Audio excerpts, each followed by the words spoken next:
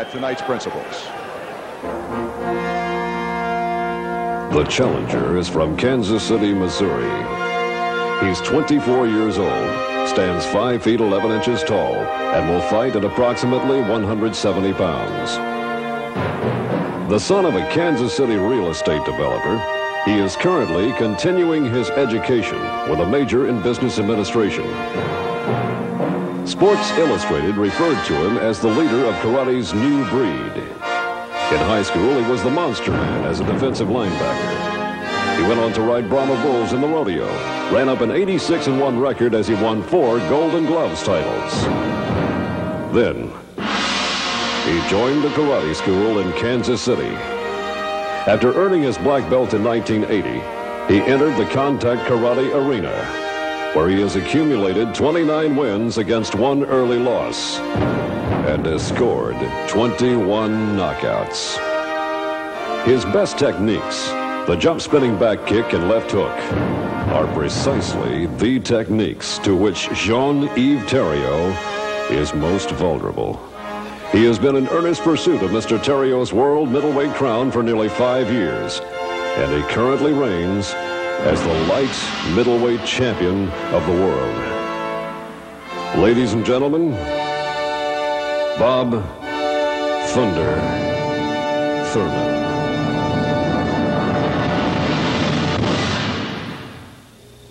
I wouldn't say Theriault's exactly afraid of me. You know, Theriault is a good fighter. That's why I want to fight him. That fight will be nonstop from bell to bell until I knock him out. The big question in everybody's mind is Bob Thunder Thurman. He's come up here to Montreal. He's asking for Jean-Yves Theriault. Do you think the fans here want to see you with him? What was that name again? Well, let me tell you this. Um, for the last couple of years, Bob Thurman's been telling whoever wants to listen to him that I've been ducking and avoiding him. Um, you can bet your bottom dollar that I'm not avoiding him. I'm waiting for somebody to promote it so that I can get my share, so that Bob Thurman can get his shares. The fighter can get their share because uh, I think we're worth it.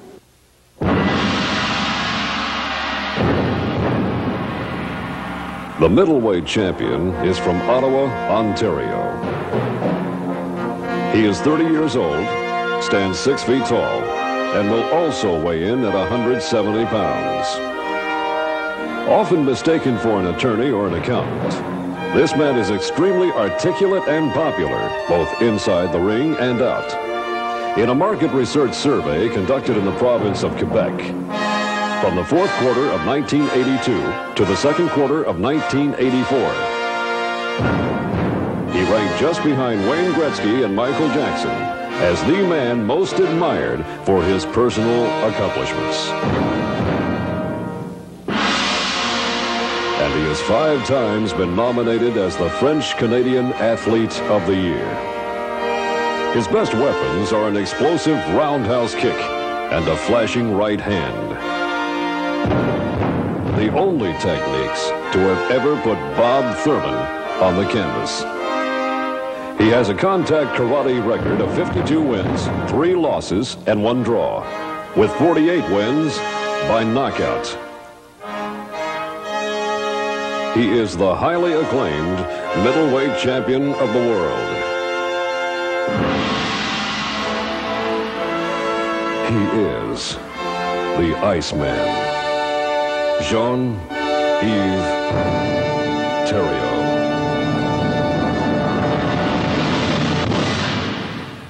Introducing first, in the blue corner, he's from Kansas City, Missouri.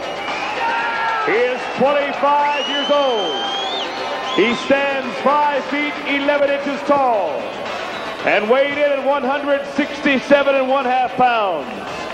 He has a contact karate record of 29 wins against one loss with 21 wins by knockout. Tonight, he is the challenger, but he is the light middleweight champion of the world, Bob Thunder Thurman.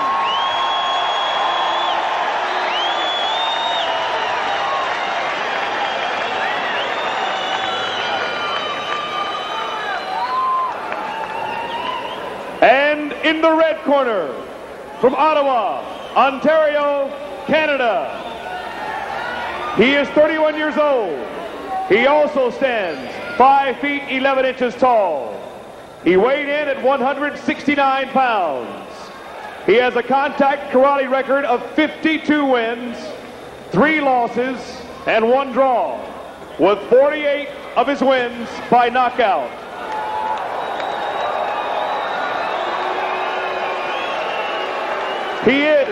The middleweight champion of the world.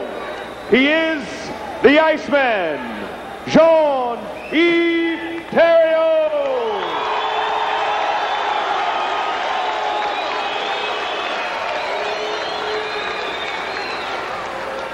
Our scoring judges for this bout are Carol Willis, Jeff Smith, and Karen Turner. Your center referee is Bill Clark. Bill Clark now moving in as the ah. referee to give the instructions. Okay, gentlemen, I want you both to listen to me. In the event your opponent is knocked down, I'm going to send you to a corner. You stay there until I call you out. If you're knocked down, when you get up, show me that you're able to fight. Your hands up and look me right in the eye. Any questions about the rules? Step back, bow to meet each other, make it a great fight. Ah, Bill, Yes, sir. Hold on a second. just a minute. See if his black belt on. He's got He's his not. black belt. Won't fight The rule technicality about the black belt. Yep, that is a, a rule technicality. Uh, Dave Kennedy trying to get every uh, everything, uh, every kind of advantage that he possibly can for Thurman. He's uh, kept Theriault waiting, I think, on purpose. Let's take a look at the tape of these individuals now as they get set for round number one. Theriault, 31 years old, compared with 25 years of Thurman. Theriault, slightly heavier, with a big reach, 78 inches to 70 inches. Both men five feet eleven. The thicker neck from the ex-linebacker Bob Thurman. Chesko, look at that. Fire up. Mr. Mackey. This fight's been written about, speculated on, canceled, rescheduled, and now it's hard to believe it's finally happening.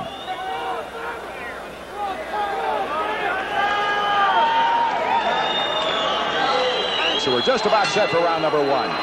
Johnny Theriault comes out with a big right hand immediately. The combination. Thurman digging in. Thurman likes to stay close and roll. at the television truck. Bill Black.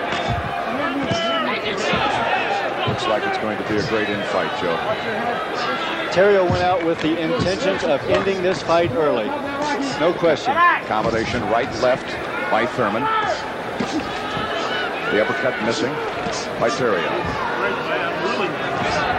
Good stiff left punch, uh, left-handed punch that time by Thurman.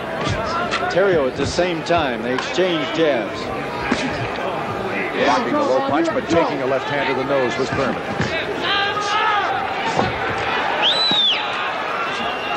Both fighters very proficient and powerful with their hands. Remember, it's the right hand that gives Thurman the most trouble. Theriault, as we saw, can knock you out with any weapon. Left hand, right hand, left foot, right foot. It's not a fight like Rome and Hefton. This is a fight four years, a lot of energy, a lot of nervous energy. Good uppercut then by Thurman. Good right hand goes down to the body. Theriault in the corner now, but he covers up so well. Thurman can't seem to find the opening that he needs as Theriault comes back with a hard right hand to the body and then a left hand to the body. Theriault taking another left jab.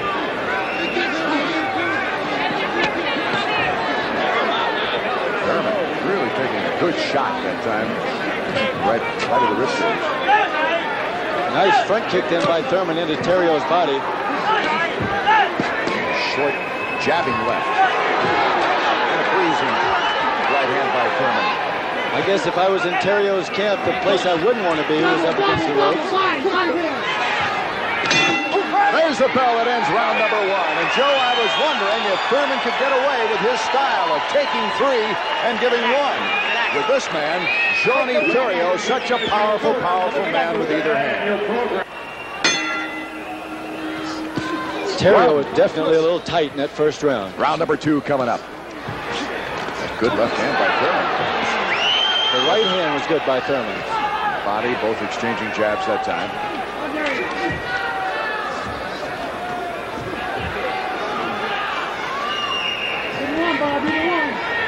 Bob Thurman, pours in on his opponent. Good combination. How'd you score the first round, Joe? I had the first round for Thurman. Keeping the pressure on Theriault. Theriault waiting for the right spot and an overhand right that time, but it hit high, I believe, on Thurman's head. Wasn't really effective. Thurman is not letting uh, Theriault unload with the kicks. Ooh, vicious body punches to the left hand by Theriault. Such power. Nice right. Breezing down the chin. That body punch of Theriault is the most effective so far in the match. Right to the section. Thurman comes right back with a, a soft left hook. As we said, Theriault's weakness is to the left hook and the spinning back kick. Thurman's been working to his weaknesses thus far in the fight, Bill, more so than uh, vice versa. Good Yeah, this is a good uppercut, but he's keeping his hands up real well. He's keeping the pressure on. Johnny's got to work around, work some combinations on him. He's got to keep Bob on the defensive rather than the offensive. A big welt now under the left eye of Bob Thurman. That welt can open up, and that, that shows you the power. One one Theriault punch lands like that. Thurman, as Bill said, wants to wear you down. Theriault can blast you with one.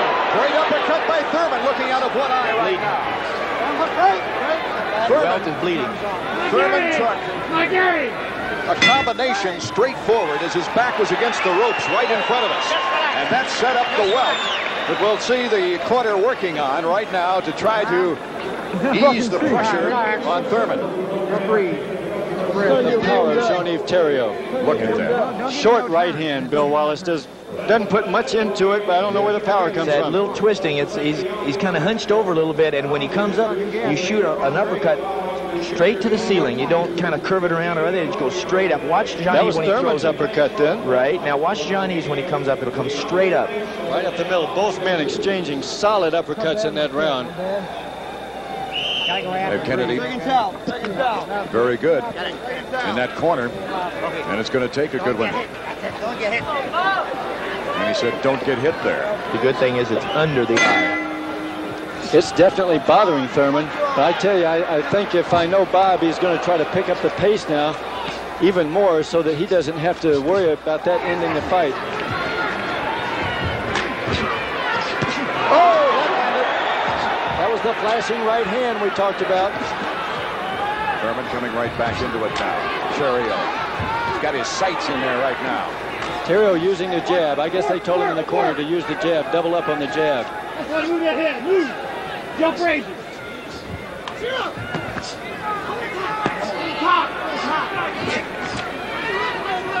How do you have it scored so far after uh, two rounds of action? Still dead even.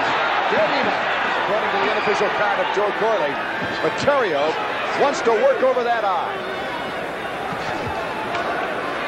Terrific uppercut in the second round by Theriault to put the weld under the eye. Go to that corner. But Thurman is not one to give up.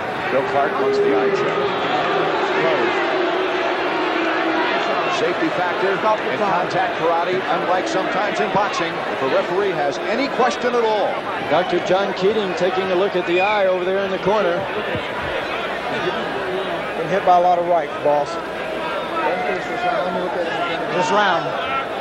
Let it go this round.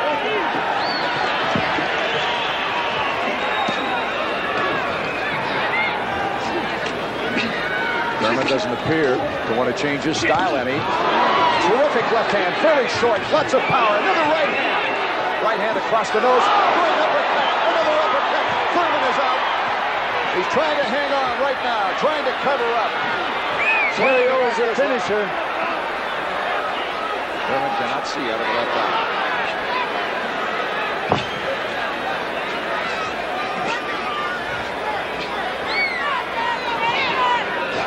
The champion in command, Jean-Yves Theriault. That eye have a serious.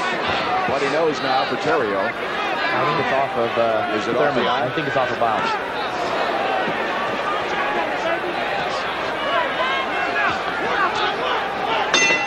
There's the bell that ends around and a tough one. Looks like some blood coming from the nose of Bob Thurman as well. So Bob Thurman in deep trouble. The Kansas City youngster, the challenger, the light middleweight champion of the world, is facing his best test ever in Jean-Yves Theriault. Bill Wallace, that, that uh, swelling under the eye has most assuredly changed the course of this fight. Definitely. I, I feel that, uh, you know, John, uh, Bob cannot see out of the left eye. And Johnny throws one hell of a right hand. And if you can't see it, you can't block it. Some of the action from round three ought to be interesting. And let's see Jean-Yves Theriault, the champion, on the left. Watch that overhand right. The doctor is looking at it very closely over there. Look at the right hand. Knocks Bob Thurman one third of the way across the ring.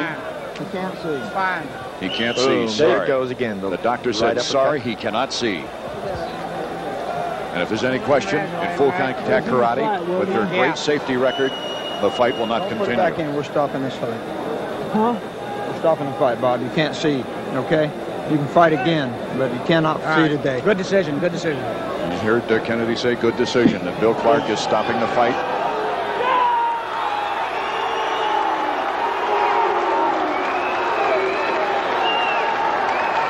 Johnny Theriault with a brilliant uppercut The crowd in the second round.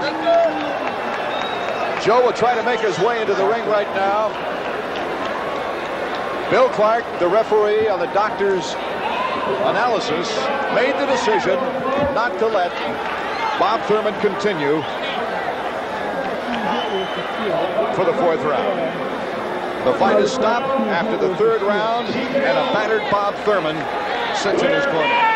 Let's go into the ring with Joe Corley and an elated Jean-Yves Theriault, who has successfully defended his World Middleweight Championship against Bob Thunder Thurman.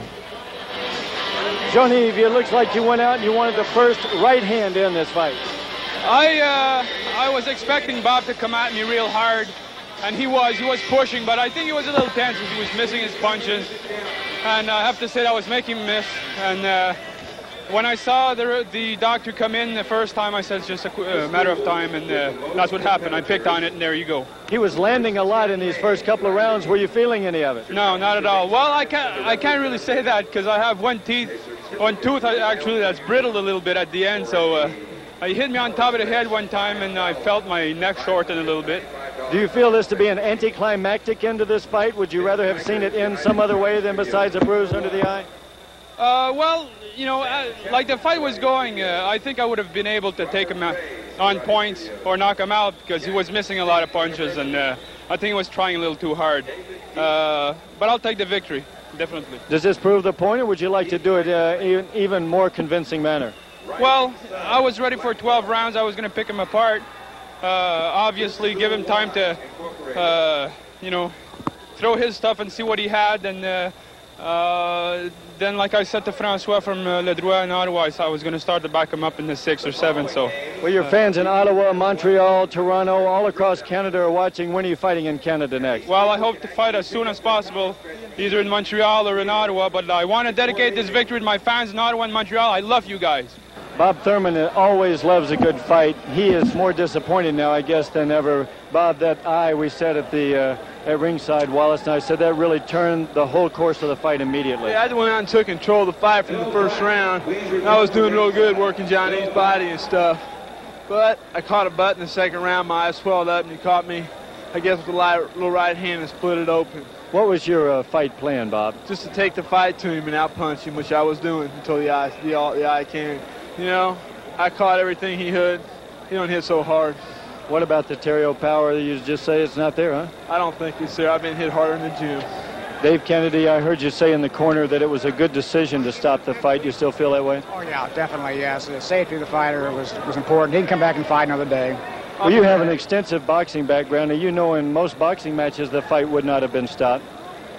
Well, maybe uh, maybe this was a good decision. I think maybe more decisions like it. I think this is an intelligent decision. There's a lot at stake, but you have a safety provider. I respect that decision. What are your feelings about doing it again, Bob? Man, as soon as my heel's up, I'm ready any day he is. He's in an alley in the ring, I don't care. Well, the crowd